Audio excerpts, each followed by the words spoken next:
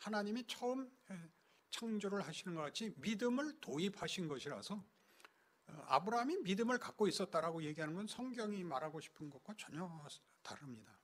어, 아브라함이 하나님이 창조주고 부활의 하나님이라고 알 도리가 없을 때 아브라함이 하나님을 믿음에 이를 그의 의로 여겼다는 건 15장에 가야 나옵니다.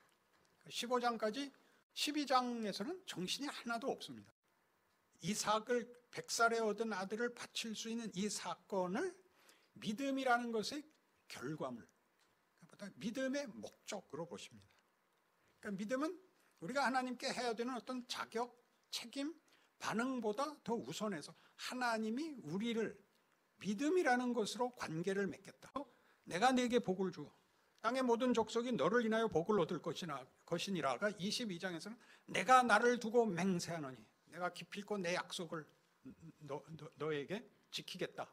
그러니까 22장에서 반복되면서 히브리서에서는 이 맹세한 어, 하나님의 맹세를 부각시킵니다.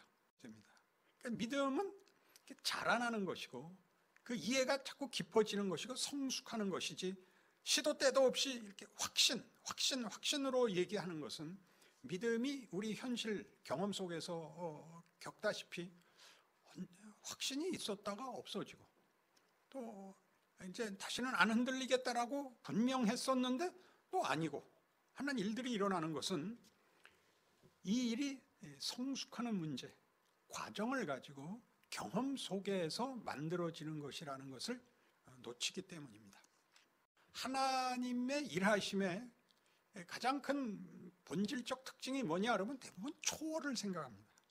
있을 수 없는 일을 하시는 창조 부활 다 자연 법칙을 벗어나는 깨는 그것보다 큰 이렇게 생각을 하는데 하나님은 이 모든 일을 기적을 어디에서 기적을 행하시느냐 하면 시간과 공간 속에다가 이 초월을 넣는단 말이죠.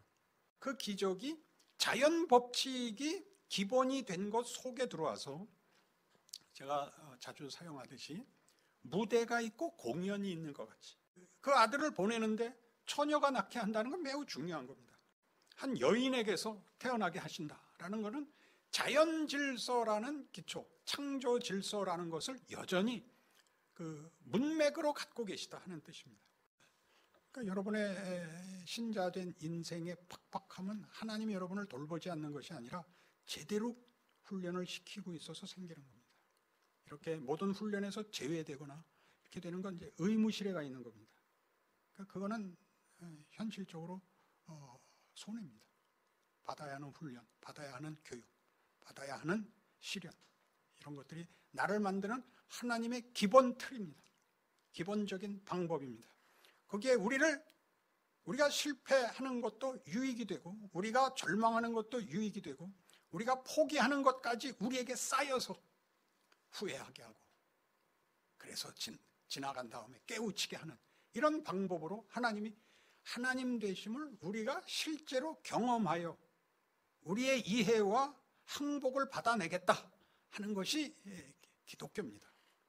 하나님이 육신을 입고 찾아오시는 종교인 것입니다.